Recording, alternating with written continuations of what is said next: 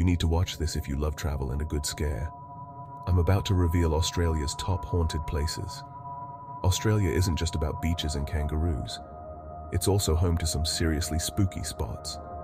First up, Port Arthur in Tasmania. If wolves could talk, these would scream. Next, Monte Cristo Homestead in New South Wales. This place is so haunted, even the ghosts are scared. Then we have the Fremantle Arts Centre in Western Australia. Once a mental asylum, now an art gallery with a side of ghostly guests. Old Melbourne Gaol in Victoria. Hang out with ghosts of infamous criminals. And don't miss the Princess Theatre.